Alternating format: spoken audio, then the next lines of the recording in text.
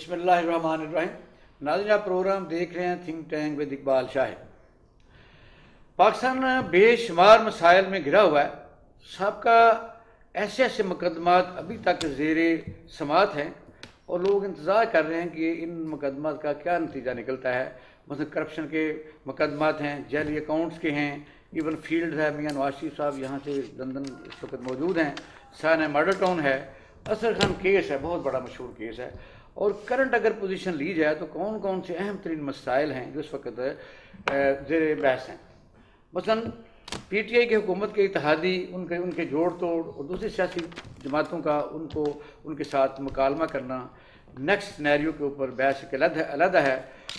اس کے علاوہ election commissioner of Pakistan جس کی آج فائنل میٹنگ ہو رہی ہے، جس کا فیصلہ ہو چکا ہے کہ اس پر جو سکندر سلطان صاحب ہیں، ان پر تمام سیاسی پارٹیوں نے اوکے کر دیا۔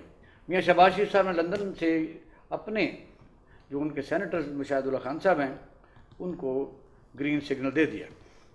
اب یہ آپ دیکھتے ہیں کہ کسی وقت بھی یہ آپ کو اعلان سننا پڑ جائے گا، لیکن ہوا کیا کہ پچھلے ہفتے آٹا ان تمام چیزوں کو اپنے لپیٹ میں لے گیا اور ایک مسئلہ ابھر کے سامنے آیا۔ کہ اس زرعی ملک میں آٹا ہی سب سے بڑا مسئلہ ہے، جس کو حکومت کے لوگ تو یہ کہتے ہیں کہ یہ پلانٹیڈ ہے، سازش ہے، کیونکہ مسلم نو یا جو اتحاد، دوسری جماعتیں اپوزیشن ہیں، انہوں نے اس کی ہائپ زیادہ کریٹ کریٹ کی ہوئی ہے اور ان کے بقول یہ ہے کہ فنڈڈ اور پلانٹڈ اور داستان گو لوگوں نے اس مسئلے کو بہت زیادہ بڑھا چڑھا کر پیش کیا ہے۔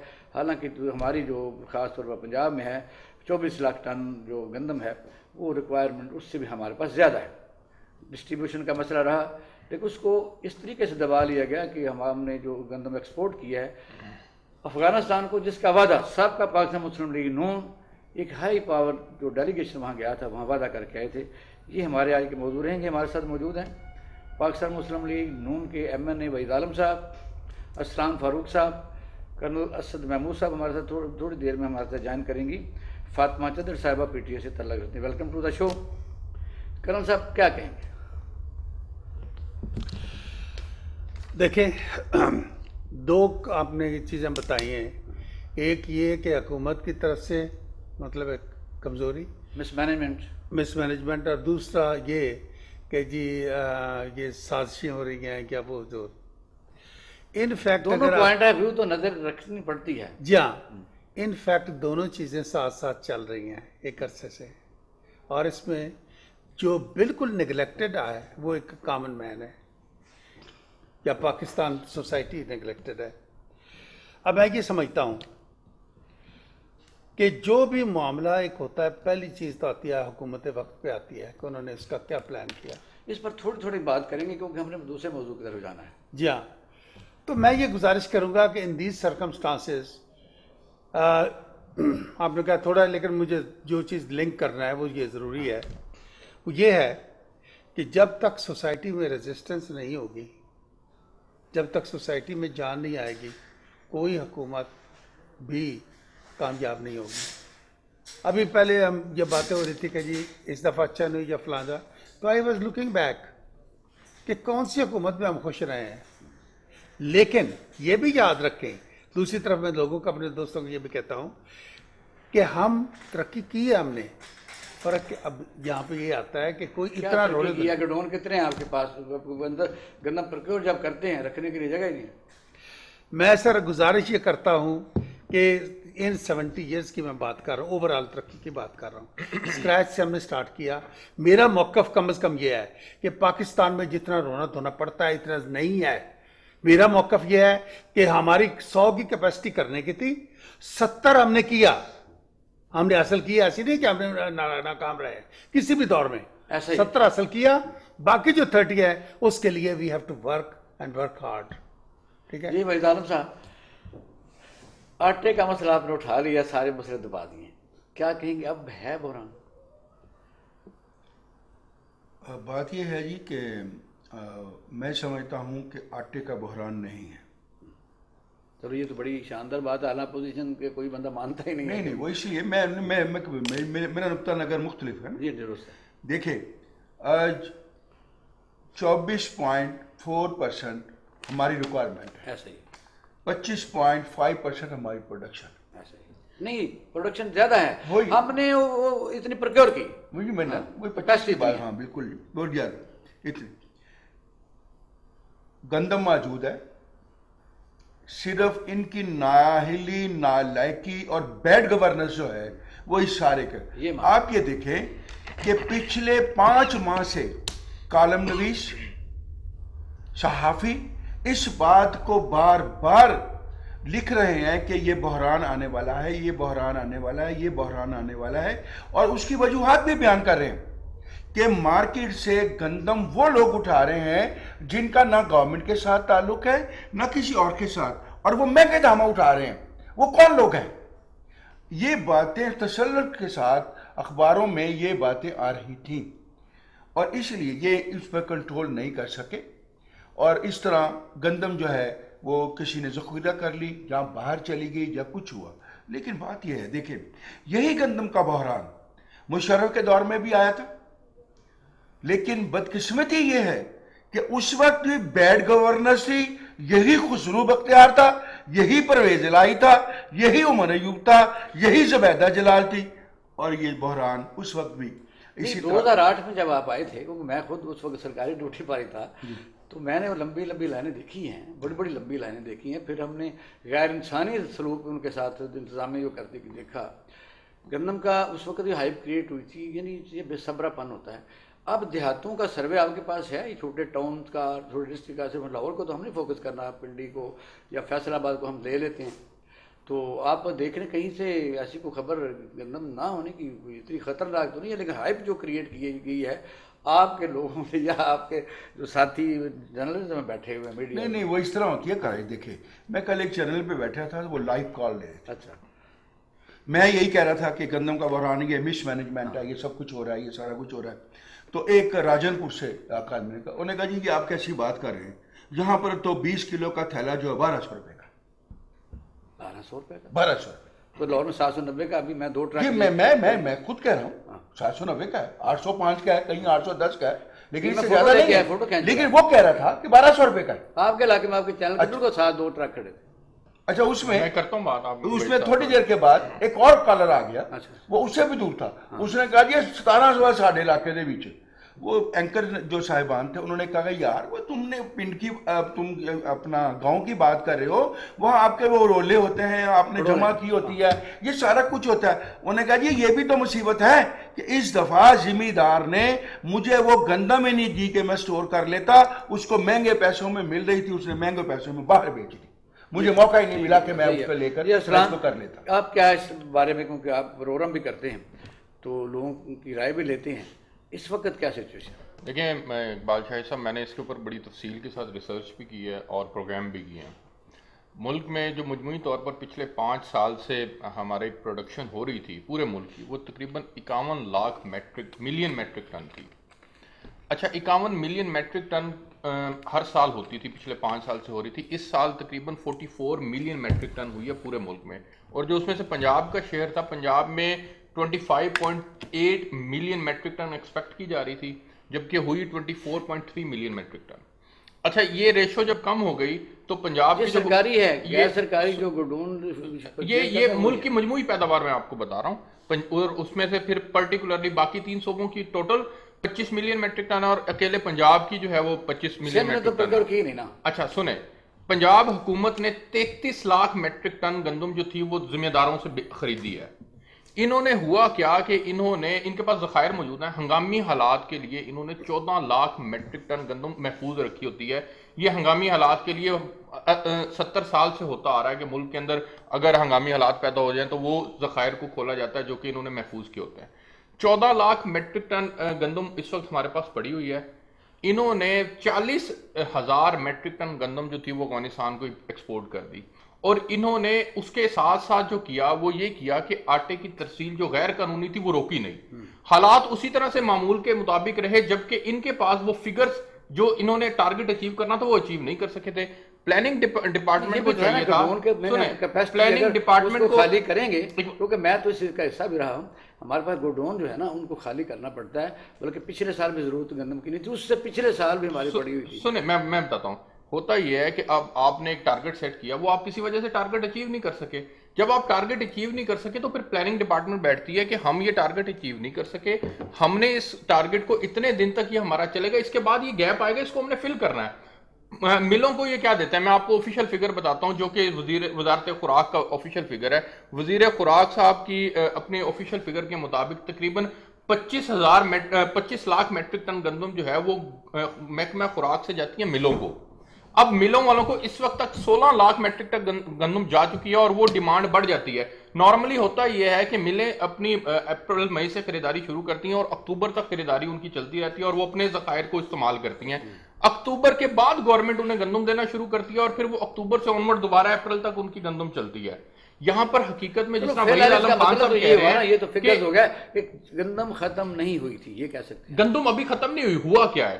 ہوا یہ ہے کہ مس مینجمنٹ کی وجہ سے ایک ملک کے اندر افراتفری کا ماحول پیدا ہوا اور اوپن مارکیٹ کا ریٹ جو کوئی تیرہ سو پچہتر روپے تھا وہ انیس سو بیس روپے پہ چلا گیا۔ اب وہ جب تیرہ سو پچہتر سے شوٹ کر کے انیس سو بیس روپے پہ چلا گیا تو ڈیمانڈ اور سپلائی یہاں پر جو ہے وہ فیکٹر لاگو ہوتا ہے پوائنٹ ہے وہ تو آپ کا اپنا ہے میں یہ کہتا ہوں کہ ہمیں خاص طور پر جب ہم ڈراتے ہیں لوگوں کو کہ ہر چیز ختم ہو گئی ہے، تو پھر پینک پھیلتا ہے۔ ہم ڈرا نہیں رہے، ڈرا نہیں رہے، سنیں، ہو کیا رہا ہے؟ دیکھیں، جب آپ چکی کے اوپر آٹا لینے کے لیے جاتے ہیں چونسٹھ روپے کلو آپ کو آٹا مل رہا ہے۔ یہ ڈی سی ریٹ بتا رہا ہوں میں آپ کو، ستر روپے بھی بعض جگہ پہ مل رہا ہے، جہاں پر ڈی سی ریٹ جو ہے انفورس نہیں ہو پا رہا۔ دیہاتوں کے اندر چکی کا آٹا اسی طرح سے مہنگا بک رہا ہے۔ کیوں مہنگا بک رہا ہے؟ کیونکہ جلال مارکیٹ سنت میں اس سے مہنگا ہے۔ اگر۔ آدمی جلال سنت سے لینا چاہتا ہے وہ اس سے زیادہ مہنگا وہ ڈیفنس کے اندر جو کرنل صاحب ڈیفنس میں رہتے ہیں وہ ڈیفنس میں اس سے زیادہ مہنگا ملے گا۔ جب آپ جب آپ کے پاس ملک کے اندر اس قدر مہنگے داموں آٹا بک رہا ہوگا تو پھر وہ لوگ جو کہ ملوں کے آٹا نہیں کھا- کھاتے ان کو تو مہنگے داموں ملے گا نا اور جب ان کو مہنگے داموں ملے گا تو obviously وہ تو چیخیں گے کہ بھائی ہمارا آٹا جو ہمیں اس سے پہلے دو ہزار میں مل رہا تھا یا اس سے پہلے جو ہمیں اٹھارہ سو میں مل رہا تھا وہ چوبیس پر آٹے پر اتنے رہنے کیونکہ آٹا بنا میں چاہتا ہوں کہ اور مسئلے یہ یہ یہ ایک بڑا سنگین مسئلہ ہے۔ میں صبح اور یہ میں آپ کو بتا دوں اگر اس مسئلے کے اوپر قابو نہ پایا گیا تو یہ حکومت اگلے مہینے سندھ کی فصل آ رہی حکومت کے لیے نئے مسائل پیدا ہوں ہو۔ مارچ کے اندر آئے گی سر۔ انہوں نے کہہ دیا کہ اگلے مہینے وہ بڑی مارچ کے اندر آئے گی وہ۔ چلو فاطمہ پی ٹی آئی سے بات کرتے ہیں۔ فاطمہ ویلکم۔ تو بس رہا ہم نے کیونکہ اٹے پر تو کل ہم نے پروگرام کیا تھا بڑا شعر حاصل۔ آج ہم اس کو تھوڑا سا لنک کر کے ہم اور موضوع کی طرف بڑھیں گے۔ اس وقت جو پچھلے ہفتے کا آٹے کا چل رہا تھا اب کیا سچویشن ہے؟ بسم اللہ الرحمن الرحیم۔ بہت شکریہ اقبال شاہد صاحب آپ نے مجھے موقع دیا کہ میں اس پہ بات کروں۔ اصل میں مجھے سمجھ نہیں آ رہی کہ سارے جو موضوع ہیں سارے ایشوز کو ایک سائڈ پہ رکھ کے آٹا آٹا ہم نے کر دیا۔ آٹا پہلے کھائیں گے تو زندہ رہیں گے آٹا ہے۔ یہ جو یہ جو ایک پلاننگ کے ساتھ گورنمنٹ کے خلاف ایک پروپاگنڈا کر کے دیکھیں آپ دیکھیں ٹرکوں میں آٹا مل رہا ہے آپ یوٹیلیٹی سٹور پہ آٹا مل رہا ہے۔ کون سی چکی ہے؟ میرے ساتھ آپ لاہور سے نکلیں ابھی۔ میں آپ مجھے لے کے چلے کہ کون سی جگہ سے آٹا نہیں آپ کو مل رہا؟ یہ ایک مافیا جو ہے اس نے ایک گورنمنٹ کے خلاف جو پروپوگنڈا شروع کیا ہے اس میں وہ کامیاب ہونے والا نہیں ہے۔ آٹے کی کوئی قلت نہیں ہے۔ آپ پورے پنجاب میں میں تو لاہور میں میں دس جگہ میں آپ کو پوائنٹ آؤٹ کرا سکتی ہوں جہاں پہ آٹا میں فاطمہ چدر صاحب سے ایک سوال کروں۔ مجھے صرف یہ بتائیں کہ اوپن مارکیٹ میں ریٹ تیرہ سو پچہتر سے انیس سو بیس پہ کیسے پہنچا؟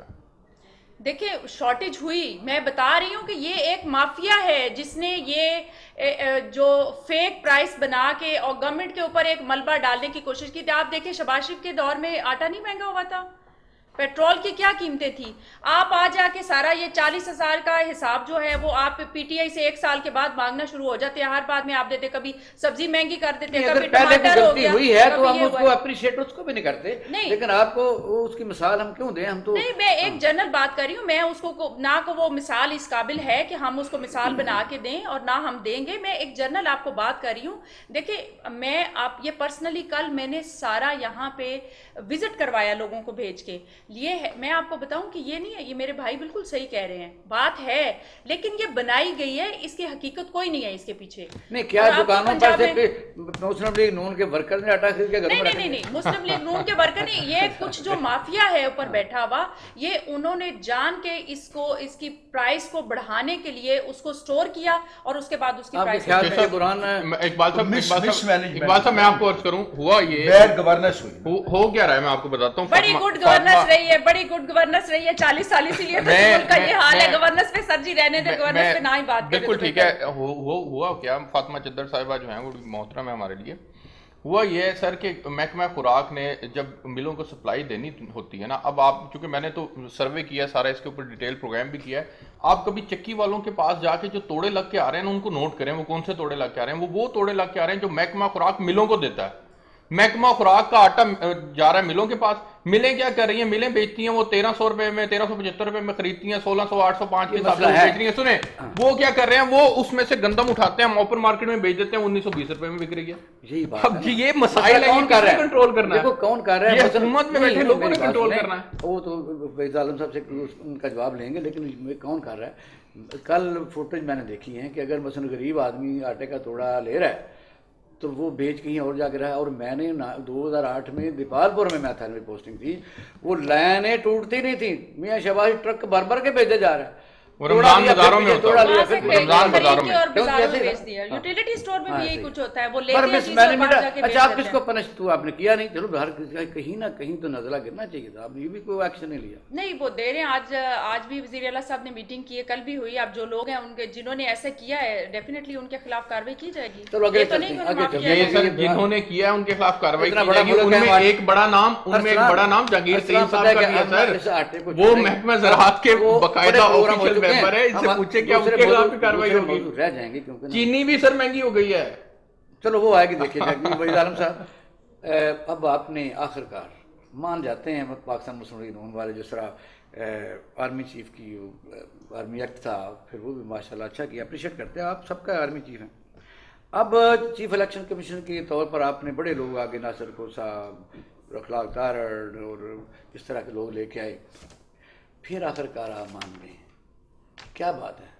وہ چیزیں منوا لے منوانے کے بعد مان مان جاتے ہیں۔ آج فیصلہ تو ہو گیا خیر سکندر سلطان جی ہاں ان کا نہیں وہ بہتر یہ محسوس ہوا ان کو سب کو کہ یہ جو آدمی وہ یعقوب صاحب جو تھے کیونکہ وہ کنٹروورشل ہو گئے تھے اس لیے یہ ان سے بہتر آدمی ہے تو میں سمجھتا ہوں کہ فہم و تفہیم سے ایک آدمی ایک, ایک چنا گیا ہے اس پر سب ایگری کر گئے تو یہ بڑی اچھی خوشحالی کہتے ہیں سودا بس یہ بلوچستان میں تو آپ نے اپنا بنوا لیا سندھ میں انہوں نے بنوا لیا۔ چلیں یہ دیکھیں چلنا ہے نا آگے۔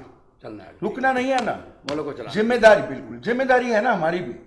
تو بلکہ میں سمجھتا ہوں کہ اپوزیشن کی زیادہ ذمہ داری ہوتی ہے پوائنٹ آؤٹ کرنا باتوں کو اور ان کو منوانا اور انہیں آ کے لے کر چلنا تاکہ ملک جو ہے وہ آگے ترقی کرتا رہے چلتا رہے۔ فاطمہ یہ ہے کہ ادھر سے میں آتا ہوں، یہ مسلم لیگ نون والوں کا تو آپ کو چاہیے شکریہ ادا کرنا، کیونکہ آپ کی جو الائز پارٹی ہیں، وہ تو ٹانگیں کھینچتی رہتی ہیں۔ لیکن آخر کار جب نیشنل ایشو ہوتا ہے، تو پاکستان مسلم لیگ نون کسی سے پیچھے نہیں رہی۔ اس میں بھی آپ دیکھیں چیف الیکشن کمیشنر کا ایسا مسئلہ ہے کہ اسلام آباد ہائی کورٹ نے ٹارگٹ کیا، پھر انہوں نے ایکسٹینشن دی، پھر ٹائم کی ایکسٹینشن دی۔ لہٰذا القیاس کے ظاہر ہے، پھر بھی انہوں نے ہی اون کیا۔ تو آپ کیا سمجھتے ہیں کہ آپ کی طرف سے کوئی ایسا قانون سازی میں کوئی اچھی چیزیں آنی چاہیے تاکہ ملک تو چلے یہ مسئلہ یہ ہے کہ لڑائی تو عوام کو سوٹ نہیں کرتی، عوام کے مسائل تو یہ ہیں جو آپ کے سامنے۔ دیکھیں عوامی مسائل میں جتنی بھی الائنس پارٹیاں ہوتی ہیں میرے خیال میں اگر کوئی ملکی لیول پہ کوئی ایسا ایشو آتا ہے جیسے چیف ہمارا جو تھا اس کی سلیکشن کا مسئلہ تھا تو جو چیز ہوتی ہے اگر اچھی ہوئی ہے تو اس کو اپریشیٹ کرنا چاہیے۔ اور یہ بڑی خوشائن بات ہے کہ ہماری جتنی بھی آپ کی طرف سے کبھی نہیں ہوا ہیں۔ آپ کی طرف سے کبھی نہیں ہوا تھا۔ مثلا بلوچستان جو ٹاپل کی گورنمنٹ کرنی تھی آپ پیپل پارٹی کے ساتھ مل کے۔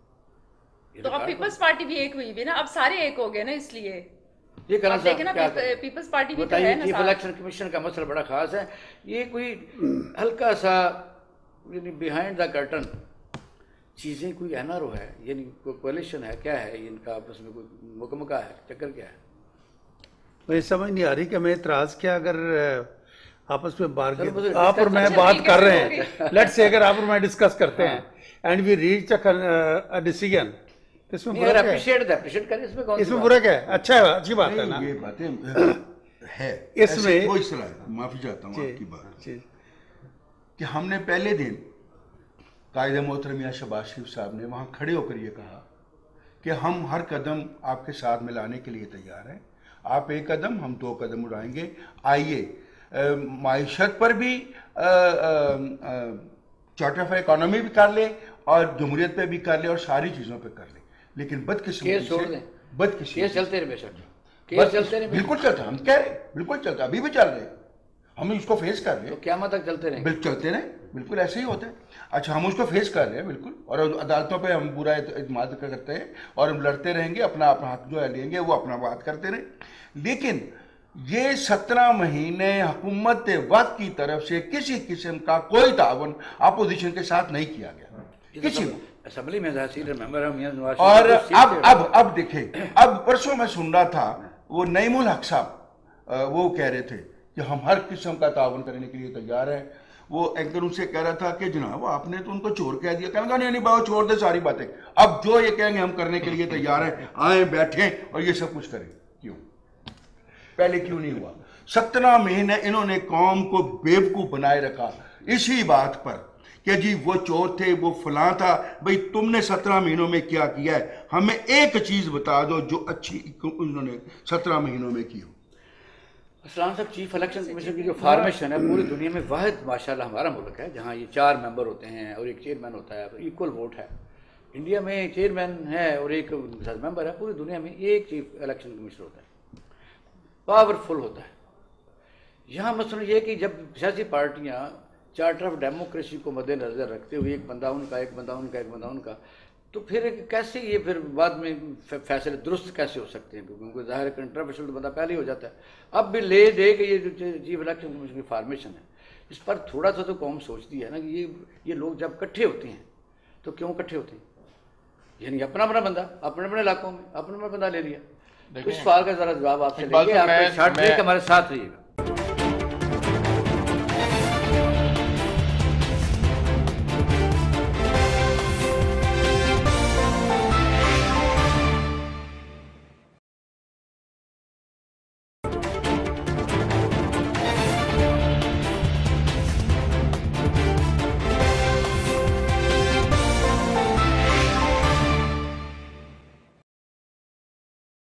ویلکم بیک جی ارسلان صاحب چیف الیکشن کمیشنر اقبال صاحب پاکستان۔ یہ پہلی بات یہ کہ یہ خوشائن بات ہے۔ اگر اپوزیشن اور حکومت نے مل کر چیف الیکشن کمیشن کے تقرر کی طرف یہ جا رہے ہیں بڑھ رہے ہیں۔ لیکن میں اسے کسی این آر او اور کسی مفاہمت کا نام نہیں دیتا۔ یہ آپ کو یاد ہوگا اسلام آباد ہائی کورٹ کی ڈائریکشنز کے مطابق دی گئی ڈیڈ لائن کے اوپر فیصلہ کیا گیا ہے۔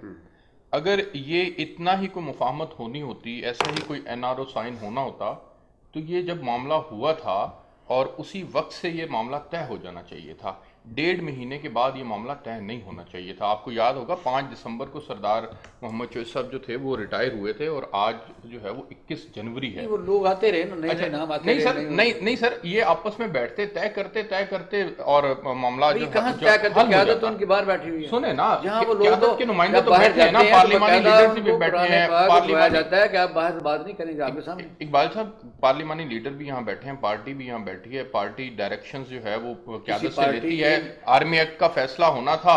پارٹی نے کہہ دیا یہ کریں آپ سربراہ کے علاوہ پارٹی میں کس بندے کی چلتی ہے؟ مجھے بتائیے پیپل پارٹی لگا لیں مسلم لیگ نون لگا لیں اسے پی ٹی آئی لگا لیں۔ نہ چلتی ہو اس سے کیا فرق پڑتا ہے؟ ہمارے ملک کے اندر پارٹی سسٹم ہی ایسا ہے کہ one man one one man party show ہے۔ اگر فیصلہ آرمی ایکٹ کے اوپر مسلم لیگ نون کو دیکھ لیں، یہ پوری قیادت ہم نے ان کے اوپر بہت زیادہ تنقید کی، سوشل میڈیا پر ان کے اوپر تنقید ہوئی کہ آپ لوگ ان لوگوں کو کیسے جواب دیں گے؟ انہوں نے، یہ بے بس تھے، انہوں نے تسلیم کیا اس بات کو کہ ہم بے بس ہیں۔ ایون خواجہ آصف صاحب نے کہہ دیا کہ ہمیں کہا گیا کہ پارٹی یہ فیصلہ کر چکی ہے، پوچھا گیا کہ کون سی پارٹی؟ ہم تو اب آئے ہیں آپ کے پاس آٹھ لوگ، تو انہوں نے کہا بازی جی، یہ میاں صاحب کا آرڈر ہے، آپ اس کو تسلیم کریں۔ اور وہ تسلیم ہوا اور غیر مشروط حمایت آرمی ایکٹ کے اوپر پارٹی نے دے دی۔ اسی طرح سے یہاں پر بھی پارٹی یہ فیصلہ کر سکتی تھی، لے سکتی تھی، چیزیں سیٹل ہونے میں ٹائم لگتی ہیں اگر انہوں نے چیف الیکشن کمشنر کے معاملے کے اوپر اگر اس وقت مفاہمت کا اظہار کیا ہے تو میں اس کو کوئی بڑی بات نہیں سمجھتا۔ پی ٹی آئی کے لیے آگے بڑے چیلنجز موجود ہیں۔ ان بڑے چیلنجز کے اندر پنجاب ایک بہت بڑا چیلنج ہے عثمان بزدار صاحب کی پرفارمنس بہت بڑا چیلنج ہے مسلم لیگ کاف کے اختلافات جو انہوں نے پرٹیکولرلی بلدیاتی ایکٹ کے اوپر ان کے اعتراضات ہیں وہ اپنی جگہ پر ہیں۔ اسی طرح سے ایم کیو ایم کے اعتراضات اپنی جگہ پر ہیں۔ پی ٹی آئی کے لیے ابھی جو گراؤنڈ ہے وہ اس طرح سے کھلی اور صاف نہیں ہے۔ میں سمجھتا ہوں ان کے لیے مسائل میں موجود ہیں۔ گزارش یہ کرنا چاہ رہا تھا کہ پولیٹیکل پارٹیز کا جب ہم دیکھتے ہیں نا ہم ان کو اس نظر سے دیکھتے ہیں جس فلاں جگہ یہ ہو رہا ہے نہیں پوزیشن جماعتیں جب پیچھے ہٹتی ہیں کیا ان کو خوف رہتا ہے کہ کوئی اور نظام بھی آ سکتا ہے میں آپ کو پہلے تھوڑا سا ایک علم سیاسیات کی روح سے بتانا چاہتا ہوں کہ پولیٹیکل پارٹیز علم سیاسیات کی روح سے ہمارے ملک میں ہے ہی نہیں۔ ایسا ہی افرادیت ختم ہو چکی ہے۔ ون من شو ہے. اس کی وجہ کیا تھی؟ کہیں بھی پولیٹیکل پارٹیز کا کانسیپٹ یہ ہے سیاسیات میں کہ ایک آدمی گوادر میں بیٹھا ہے ایک سانگڑ میں بیٹھا ہے ایک گلگت بیٹھا ہے ایک لاہور بیٹھا ہے۔ جب وہ ایک بینر اٹھاتے ہیں تو وہ پورے ملک کا ایک لنکیج ہو جاتا ہے۔ یہ ہے رول پولیٹیکل پارٹیز کا اصل میں۔ ہمارے پولیٹیکل پارٹیز پہلے بنی ہیں لوکلائزڈ ریجنل علاقائی پارٹیاں بنی ہیں۔ ٹھیک ہے؟ علاقائی پارٹیاں بنی ہیں۔ اس کے بعد علاقائی سے اب جو نیکسٹ ہوا ہے وہ یہ جتھے بنے ہیں۔ اب آپ جتھوں پہ کام کر رہے ہیں۔ کون سا جتھا کہاں چلتا ہے؟ جہاں جتھا بڑا ہے وہاں پہ ویٹ زیادہ ہے۔ اچھا، اب بات یہ ہے کہ باقی رہی بات یہ دیکھیں جی پولیٹیکل پارٹیز کا یا سیاست میں جب آدمی آتا ہے پولیٹیکل پارٹیز کا پاور حاصل کرنا اس کے لیے اسٹرگل کرنا اور اس کے استعمال کرنا ان کا حق ہے۔ اسی لیے آتے ہیں نا۔ اب بات یہ ہوتی ہے کہ اس کے درمیان میں ایک سوسائٹی آتی ہے اور ایک آئین آتا ہے۔ ٹھیک ہے؟ اب میں آپ کو تھوڑا سا یہاں ٹچ کرنا چاہتا ہوں۔ یہ جو ان کا تھا یہ آرمی چیف والا جو تھا ان کا ملنا۔ یہ پہلے دن جب کھوسا صاحب نے کہا تھا پہلی بات یہ تھی تو وہ تھا ہی غلط۔ ہی اسٹارٹیڈ نیو نہیں وہ سازش تو تھی ناکام ہو گئی ایک غلط کام اس نے شروع کیا کھوسا صاحب نے جس کا کوئی نشان نہیں تھا۔ یعنی پہلے دن وہ بڑے جابر ہو کے ذلیل کر رہے تھے لوگوں کو۔ دوسرے دن وہ ان کی حرکت یہ تھی ایک سیکنڈ ان کا دوسرے یار ایک سیکنڈ بات کرنے دینا۔ دوسری بات یہ تھی دوسرے دن کیا تھا؟ کہ انہوں نے یہ ثابت کیا کہ ان کو اپنے ملک میں ہونے والے قانون قوانین کا پتہ ہی نہیں تھا۔ He was suppose to know every law whether it is army or other اور اس کے بعد تیسرے دن جنہوں نے انہوں نے جو فیصلہ دیا، وہ فیصلہ کورٹ کا فیصلہ نہیں تھا۔ کورٹ میں آپ بھی رہے، کورٹ کا کیا فیصلہ ہوتا ہے؟ کہ فلاں قانون کی خلاف ورزی ہوئی ہے سیٹ اسائڈ انہوں نے فیصلہ کون سا دیا؟ انہوں نے فیصلہ دیا آڈٹ پیرا، کہ جو کر بیٹھے اس کو ریگولرائز کرا لو۔ اٹ واز ناٹ بذات خود یہ قانون کبھی اگر پڑھے پڑھے جائے گا اس میں میں نے پہلے دن ہی کہا تھا کہ نون لیگ اور پیپلز پارٹی سٹیٹ اوے وہ اوکے کریں گے۔ انہیں کہا جی کیوں؟ میں نے کہا اس کی وجہ یہ ہے کہ یہ جو ایک بیچ میں لیٹیچیوڈ ہے نا ہر وہ پولیٹیکل پارٹی سر ہر وہ نہیں میرا موقف یہ تھا کہ ہر وہ پارٹی جس کو کل حکومت کا ابھی چانس ہے۔ وہ سپورٹ کرے گی کیونکہ وہ یہ چیف منسٹر یہ جو آرمی چیف کی اپوائنٹمنٹ ہے یہ اپنے ہاتھ میں رکھنا پسند کریں گے۔ اور جن کا چانس نہیں ہے وہ مخالفت کریں گے۔ اینڈ دیٹس واٹ ہیپن مسئلہ یہ ہے کہ آٹے کا بحران آ گیا وہ کہتے ہیں پلانٹڈ تھا۔ اس کے دوران ہی آپ کی جو مسلم لیگ کاف سے پینگیں بڑھ رہی ہیں کہیں لینے کے دینے نہ پڑ جائیں کیونکہ پنجاب میں تو پیپل پارٹی واش ہو چکی ہے۔ اگر پیپل پارٹی مل جاتی پی ٹی کے ساتھ جو ایک ماضی ٹریک ریکارڈ ہے بلوچستان میں آپ کی حکومت ختم کی چیئرمین سینٹ پر انہوں نے یو ٹرن لیا۔ تو پھر یہاں آپ کیا کریں گے؟ گیم الٹی نہ پڑ جائے۔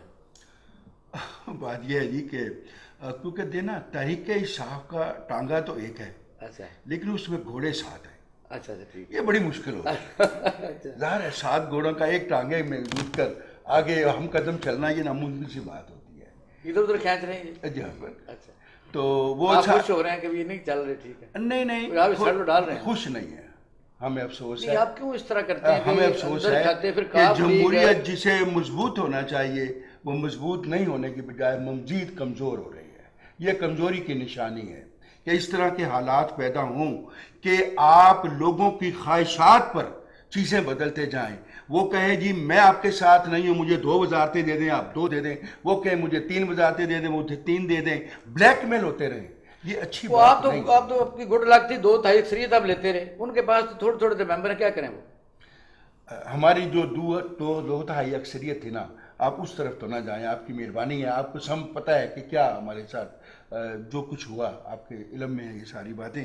لیکن میں اس وقت قافلے کی طرف کیوں جا آپ اندر کھاتے کاٹے لڑا رہے ہیں؟ نہیں ہم ہم نہیں لڑا رہے وہ لڑا رہے ہیں نا کہ وہ لڑ رہے ہیں ان کے ساتھ۔ ان کے اپنے تحفظات ہیں ان کے اپنے مفادات ہیں۔ قافلی کا جب آپ چلے گئے تو سارے آپ کا جو مقدمے چلے آپ کو تکلیفیں ہوئی یہ قافلی حکومت میں بیٹھی ہوئی تھی۔ اب اندر کھاتے انہوں نے آفر بھی کر دیا آپ کو پتہ ہے؟ ممکن ہے میرے علم میں نہیں ہے لیکن ہو سکتا ہے ایسی بات ہو۔ لیکن میں؟ سمجھتا ہوں کہ سیاسی جماعتیں آپ جماعتیں ویسے میں تھوڑا سا ہیں۔ تھوڑا سا میں گزارش کروں۔ دیکھیں جو کولیشن گورنمنٹ ہوتی ہے یہ ہمیشہ سے مشکل ترین ہوتی ہے۔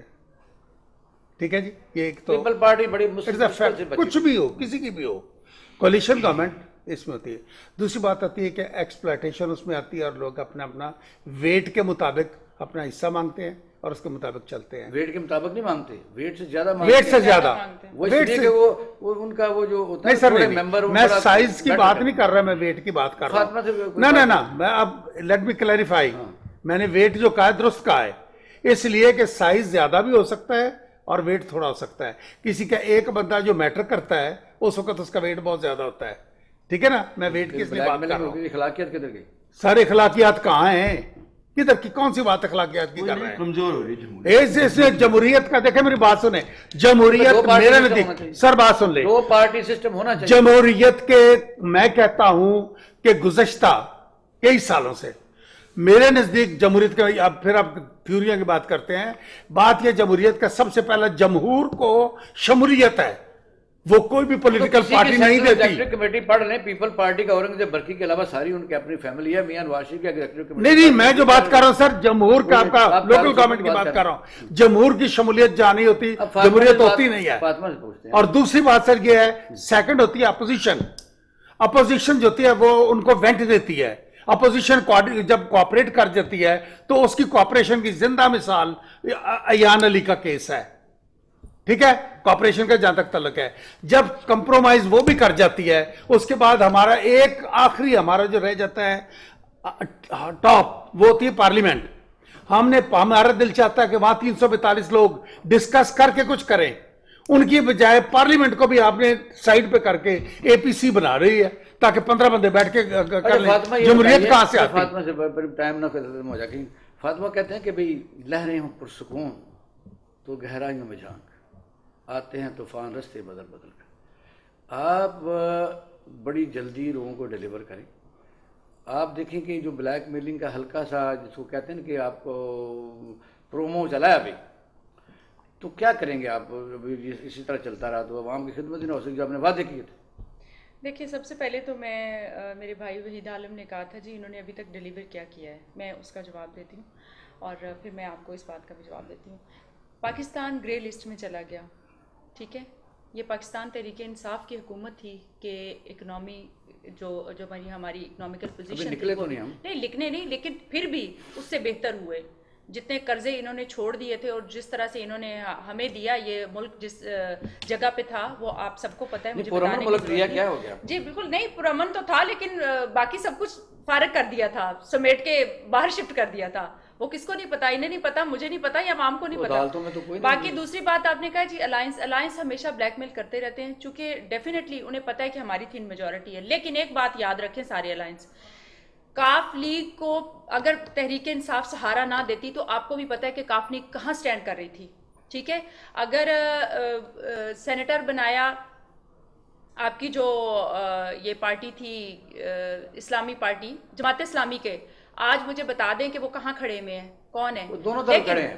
نہیں وہ کھڑے دونوں طرف ہیں لیکن ان کو سہارا پہلے کس نے دیا تھا؟ اسی طرح اگر کوئی پارٹی آج ہمیں چھوڑ کے جاتی ہے تو آپ کا کیا خیال ہے؟ وہ اپنا سابقہ ریکارڈ دیکھ لیں کہ پہلے مسلم لیگ نون نے ان کے ساتھ کیا کیا بات چل رہی ہے پیپل پارٹی کے ساتھ۔ نہیں ہماری کوئی بات نہیں چل رہی۔ ہماری کوئی بات نہیں چل رہی۔ یہ ادھر ہم ادھر ادھر سے ہوائیں سن رہے ہیں سالسوں میں ہی لیکن آپ کو دیکھتے رہیں گے کہ لوگوں کے مسائل کہاں جائیں گے۔ دیکھیں ہم دیکھیں ہم مسائل حل کرنے کی کوشش کر رہے ہیں اور اس پہ بہت زیادہ برکنگ ہو رہی ہے۔ یہ جو ادھر ادھر یہ جو ادھر ادھر ہو رہے ہیں وہ ان کو پتا ہو کہ ان کے آگے کیا انہیں برائٹ فیوچر نظر اچھا آ رہا ہے آپ نے میرے وہ جو میں۔ کتابچہ چھاپا ہے میں نے پڑھا ہے سارا۔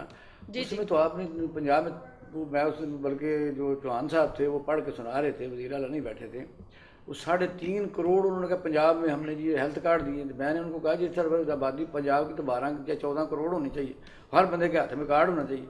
یہ کتاب تو سوچ سمجھ کے بنایا کریں کہ آپ نے کون نہیں دیکھیں ہیلتھ کارڈ بہت سی جگہوں پہ تو دیے گئے ہیں ابھی دیے جا رہے ہیں لیکن اس کی ایگزیکٹ مجھے کیلکولیشن آپ کے ادارے کا کیا ادارہ یہ تھوڑے پر روشنی ڈالیں جو ویمن پروڈکشن کا کیا ہے؟ کیا کام کر رہے ہیں؟ دیکھیے، یہ ادارہ بنا تو شباشف صاحب کے دور میں ہی تھا اور وہ چیئرمین اس کے خود تھے۔ ان کے بعد میں چیئر پرسن آئی ہوں۔ اور چونکہ اتھارٹی کا ہمارا ایک سینٹر بنا ہوا ہے وائلنس یس وومن سینٹر یہ state of the art centre ہے ملتان میں۔ آپ بلڈنگ اچھی ہے۔ نہیں جی وہاں پہ ساری سہولتیں ہیں۔ وہاں پہ یہ ہے کہ اگر کوئی خاتون، کوئی ڈومیسٹک وائلنس کی یا وکٹم کوئی بھی آتی ہے ریپ کیس ہوتا ہے یا کوئی بھی، ایک شیلٹر طرح اسے ساری سہولتیں پرووائڈ ہیں۔ وہاں پولیس ہے جوڈیشل ہمارا پروسیکیوٹر ڈپارٹمنٹ ہے۔ وہاں پہ ایون دین فرانزک لیب بھی ہے۔ اگر ڈی این اے ٹیسٹ ہونا مطلب ایچ اینڈ ایوری تھنگ اسے کہیں باہر نہیں جانا پڑے گا۔ اور اس کے بعد سب سے بڑی بات یہ ہے کہ اس کی ایک پینی بھی خرچ نہیں ہوگی اسے جتنی بھی لیگل سپورٹ ہوگی اسے پنجاب گورنمنٹ دے گی۔ ارسلان صاحب کیونکہ ضمن میں نے ان سے ان کا ادارے کا پوچھا ایکچوئل تو یہ ذرا پولیٹیکل پارٹی شہباز شریف کو اس نے بنایا۔ انہوں نے اس میں کیا کی تبدیلی کی؟ میں بتا- دیتی ہوں پنجاب گورنمنٹ نے چار سینٹر اور میری بات سن لینا بات سن لینا سن؟ لے۔ دیکھیں بات یہ ہے؟ کہ وہ شباز شریف میں بنایا تھا تو وہ وہ کوئی گھر سے نہیں لے کے آئے تھے وہ بھی نا بات تو سنیں نا اگر یہ گورنمنٹ کرے گی اس گورنمنٹ نے چار سینٹر مزید بنائے اب دیکھیں نا انہوں نے سی ایم آفس میں آفس رکھا۔ سب سے پہلے ایک اس اتھارٹی کی چیئرمین کسی خاتون کو ہونا چاہیے تھا چونکہ یہ وومن پروٹیکشن اتھارٹی تھی۔ چونکہ وہ کافی پروٹیکشن وومن کی کرتے تھے اس حساب سے وہ چیئرمین بھی خود لاتے اب بس- چار آپ سینٹر اور بننے جا رہے ہیں۔ ہیں میری بات آپ سن اس پر لینا پوری اس وقت- اقبال شاہد صاحب میری بات سن لے۔ اس گورنمنٹ نے یہ کیا ہے کہ چار سینٹر اور بنانے جا رہی ہے جو ایک سینٹر لاہور میں ہوگا ایک ملتان میں ہیں بہاول پور اتنے میں اور راولپنڈی دیے میں۔ اور یہ اسی طرح سب کے بنے کام اسی طرح کرنا کرنا کرنا ابھی ابھی تین سال رہتے ہیں ابھی سب جی، کام گے اس کی فنڈ کی ایلوکیشن ہو ہیں۔ گئی ہے سارا کچھ ہو گیا یہ کچھ نہیں کر سکتے۔ انشاءاللہ کریں گے کھائیں گے نہیں کر کے جائیں گے۔ الحمدللہ ہم نے بھی کچھ نہیں کہا عدالتوں نے صاف کیا کہ کسی نے کچھ نہیں کہا۔ عدالتوں اچھا نے- جھوٹ تھا آپ نے کون سے جھوٹ بولا؟ عدالتوں نے نااہل کس کو کہا ہے؟ جو آپ کو بھی پتا ہے مجھے بھی پتا ہے ہاں عدالتوں آپ ہاں ہاں بھی- ہم کھائیں گے۔ نہیں ہم ڈلیور کر کے جائیں گے۔ کیا کیا جی ہم ڈلیور کر کے جائیں گے اور وہ کے کیا کر جائیں رہے گے ہیں دیکھیں فاطمہ صاحبہ میں میں اصل سوال رہ جائے گا۔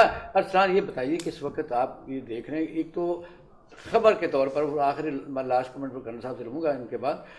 کہ بارڈر ہمارے اس وقت گرم ہے اور ڈاٹا باقاعدہ اکٹھا کیا جا رہا ہے اور یہ جس طرح محلہ حالات پرسکون بھی نہیں ہے اسی لیے سیاسی پارٹیاں بھی سوچیں، لیکن اس کے دوران ہی اقتدار کے لیے بھی دھنگا بستی جاری ہے۔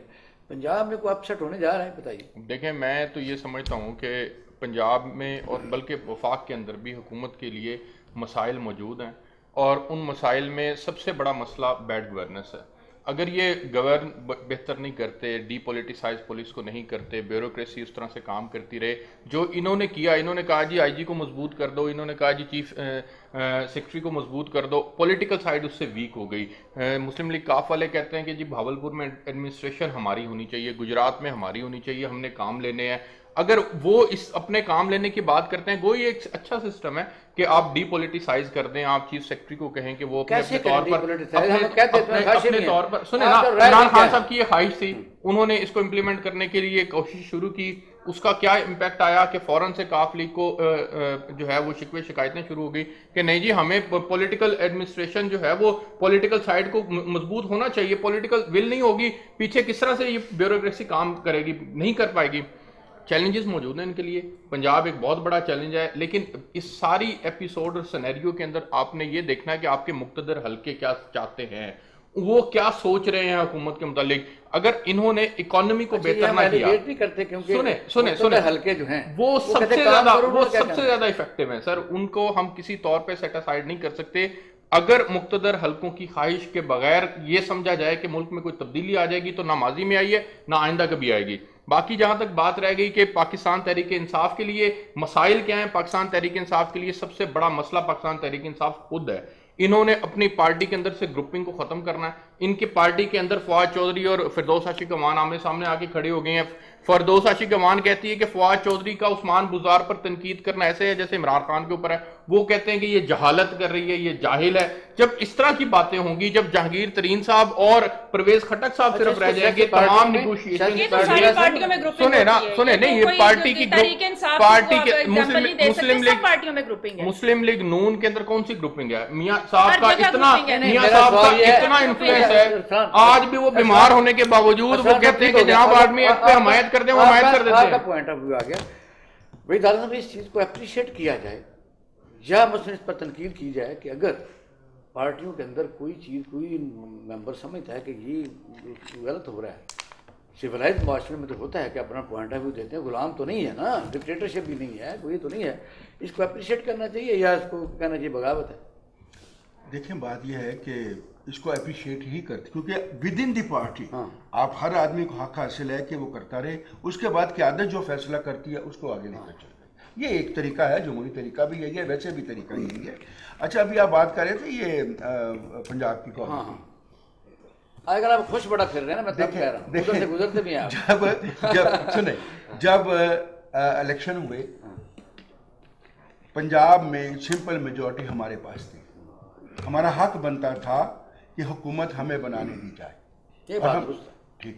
اب اس کا آج رزلٹ ہے کہ نہ پرفارمنس ہے نہ ان کا آپس میں اتحاد ہے کیونکہ وہ اتحادی نہیں ہے لوگ مختلف چوچو کا مربع اکٹھا کیا ہوا ہے۔ اور وہ آج ہی میں اخبار میں پڑھا تھا کہ ان کے اپنے لوگ جو ہیں پچیس لوگ جو ہیں وہ علیحدہ اور ان کا مسئلہ میرا مسئلہ نہیں ہے وہ۔ لیکن جنوبی پنجاب سردار شہاب الدین صاحب کی قیادت کے اندر بیس لوگ لوگوں کا گروپ ہے۔ اس میں دس مزید ایڈ ہونے جا رہے ہیں اور وہ یہ سمجھتے ہیں کہ انہوں نے جنوبی پنجاب کا وعدہ نہیں نبھایا۔ انہوں نے ہمیں ترقیاتی فنڈز نہیں دیے ہمارے کہنے پہ ایڈمنسٹریشن نہیں لگتی۔ یہ ان کے مسائل ہیں۔ ان کے مسائل حل ہو سکتے ہیں۔ لیکن سب سے بڑا جو مسئلہ ان کے ان کے لیے سامنے کھڑا ہے وہ شباز شریف صاحب کی وہ آفر ہے جو پرویز لائی صاحب کو پہنچ جی چکی ہے۔ بہرحال یہ مجھے میرے میں یہ بات نہیں ہے جو یہ بات کر رہے ہیں لیکن وہ میں نے رانا ثناء اللہ صاحب یہاں اخلاقیت کہاں جائیں گے ملک میں؟ کیا کریں گے ہم؟ مجھے بتائیے کہ وہ آپ جاتے ہیں بعد میں وہ آ جاتے ہیں کاف لیگ آپ کے خلاف جو بھی اتنے سال حکومت کرتی ہے مشرف کا حصہ رہتے ہیں۔ پھر اگر مل بھی جاتے ہیں تو یہ آپ لوگ سوال نہیں پوچھتے قیادت سے کہ خود ہی فیصلہ کر لے کبھی کوئی جنرل پارٹی کا جنرل میٹنگ ہوئی ہو کبھی سینٹرل ایگزیکٹو نہیں نہیں ایسی بات نہیں ہے۔ دیکھیں ابھی یہ جو ہم نے آرمی ایکٹ پر جو فیصلہ کیا ہے ہماری تیرہ میٹنگیں ہوئی۔ اچھا۔ پارلیمانی میٹنگ ہوتی رہی اس میں ڈسکس ہوتا رہا اور لوگ اعتراض کرتے رہے آگے سے جواب آتے رہے اور اس کے بعد نہیں وہ پہلے فائنل ہو گیا تھا اور بعد میں بعد ہوئی ہیں۔ میں۔ وہی دیکھیں اگر ایسا ہو دیکھیں ہمارے ایٹی فور لوگ ہیں۔ کسی نے پارٹی سے انحراف نہیں کیا سیونٹی تھری لوگوں نے ووٹ کیا۔ کبھی کیا تو نہیں، ہماری بالکل وہاں پر اتنی زبردست تنقید ہوئی بعض موقعوں پر لیکن ظاہر ہے جب کنسنسس بنتا ہے جب جو زیادہ میجورٹی ہوتی ہے پارٹی کا جو لیڈر جب پارٹی فیصلہ کرتی ہے تو وہی فیصلہ لاگو ہوتا ہے۔ اور ہم وہی انہوں نے جو اس میں ایک تکلیف کیا- سے بات پتہ کیا ہے اگر ان دونوں تینوں پارٹیوں کی پولیٹیکل ڈائنامکس کے اوپر غور کیا جائے تو پاکستان تحریک انصاف کے لیے سب سے زیادہ مسائل ہیں۔ اس کے اس کے لیے کس طرح سے مسائل ہیں کہ ان کی پارٹی کے ودن پارٹی اختلافات شروع ہو جاتے ہیں؟ گروپ بندی موجود ہے شاہ محمود قریشی کا ایک گروپ ہے جہانگیر ترین صاحب کا ایک گروپ ہے۔ ان گروپ بندیوں کی وجہ سے آج تو وہ عمران خان صاحب کے ڈر سے پارٹی خاموش بیٹھے ہیں۔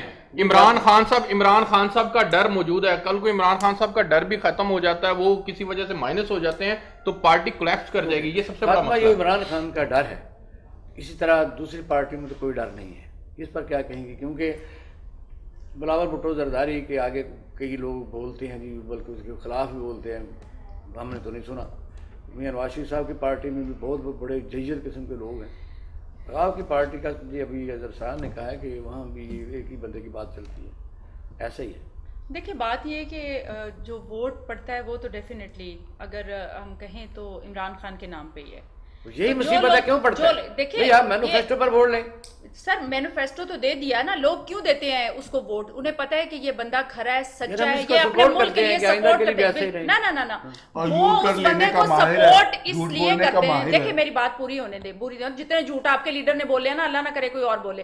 بات یہ ہے کہ لوگوں کو لوگ اس لیے سپورٹ کر رہے ہیں اس کے سسٹم کو اور اس کو اور اسے چلانا چاہ رہے ہیں کیونکہ انہیں پتا ہے کہ یہ کھرا آدمی ہے نہ ڈر ہے نہ کھائے گا نہ کھانے دے گا۔ اپنی بلڈنگیں نہیں بنائے گا اپنے خاندان کو سپورٹ نہیں کرے گا ان کو اپنی ساری اپنے خاندان کی پارٹی نہیں بنائے گا اور وراثت میں اور کسی کو منتقل نہیں کرے گا۔ بات یہ بات بات یہ ہے کہ لوگ صرف اسی کو ووٹ دیتے ہیں جنہیں پتا ہو کہ بھئی یہ بھائی ایمانداری کو کیا کرنا ہے؟ کہ جہانگیر ترین ان کی بغل میں بیٹھ کر ایک سو چونسٹھ روپے کما کے اور اس سے کہیں تو وہ کہیں میرے پیسے پورے نہیں ہوئے میں نے پورے کر لیں جتنے میں نے انویسٹ کی ہے اور آج چینی کا بحران آپ دیکھ لیں گند ہماری وجندہ پارٹی دیکھیں میری بات پوری ہونے میں میں آپ کی بات میں نہیں ہمارے دور میں اب ایک سو نوے روپے من ٹھیک ہے؟ اس وقت پینتالیس روپے چینی تھی آج اچھا، پچاسی روپے آج مل رہی ہے کارٹن پاکستان میں مصر کے بعد نمبر دو بار ہم تھے۔ آپ نے کارٹن کے لیے ملنے کیوں لے کے گئے؟ ہاں۔ کیا لے کے گئے؟ ملنے گننے کی ساری کو شوگر ملے آپ لوگوں نے شکر مافیا بنا لیا اپنے خاندان کی ساری بنا لیا آپ لوگوں نے تو آپ ہمیں سکھا رہے ہے یہ بہت چھوٹا میٹر ہے۔ بڑا اچھا اس سے بڑا میٹر یہ ہے۔ کہ چھتر لاکھ اسی لاکھ گھنٹے ان کے دور میں کم ہوئی ہیں کپاس کی۔ ہاں چھ ارب روپے ہم نے لیے وہ چھ ارب اچھا، اس میں ڈوب ہو گئے۔ نون لیگ کی نون لیگ کی پچھلے سال اور اس سے پچھلے سال کی پچھلے سال تو تحریک انصاف کا آگیا تھا اس سے پچھلے سال یہ دو سال گنے والوں کے ساتھ بڑی زیادتی ہوئی ہے۔ اس سال گنے کی کاش جو ہے وہ کم ہوئی ہے۔ انہوں نے ایک سو نوے روپے ریٹ بڑھا دیا ہے، لیکن مارکٹ کے اندر دو سو بیس اور دو سو تیس اور دو سو پچاس تک بک رہا ہے۔ کیوں؟ کیونکہ کسان جو تھا وہ پچھلے سال اور اس سے پچھلے سال پیمنٹس کی وجہ سے بڑا پریشان رہا۔ آج مارکیٹ کے اندر جو ایکچوئل ریٹ ہے، اس سے زیادہ ملے والے آفر کر رہے ہیں کہ جناب ہمارے پاس لے آؤ، لیکن گنا نہیں ہے ملک میں۔ گنے کی پیداوار گنے کی پیداوار اس لیے نہیں ہے۔ سنے نا۔ گنے کی پیداوار اس لیے نہیں۔ ہے کیونکہ پچھلے سال پچھلے سال پچھلے سال پچھلے سال یہ جو شوگر مل ماسک ہے نا معذرت کے ساتھ خان صاحب سپریم کورٹ نے فیصلہ کیا کہ آپ نے اس قانون کے تحت شفٹ کی؟ بلکہ ان میں سے ایک ویل کے مالک جو ہیں ہاں۔ سر وہ تو حسیب وقاس کا ایک مسئلہ ہے نا۔